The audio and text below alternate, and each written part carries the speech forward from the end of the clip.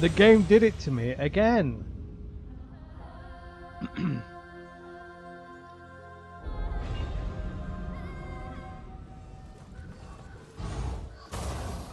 Because for one, I hit him, same again. I hit him with that, that. Then I hit him with that, and his, his stamina bar didn't move. And then literally, as soon as he did that first swing, I literally, I did that.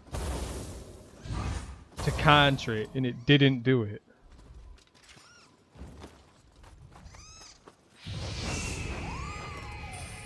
Funny how this game, I've been dying on this game.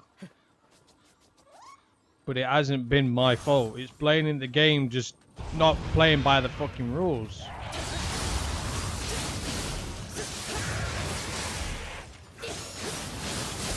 Next minute I'm hitting an enemy that's literally got no stamina and it's not like obviously stunning him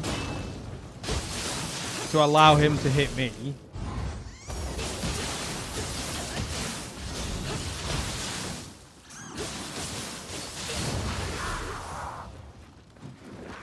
It's hap that's happened twice. I've hit them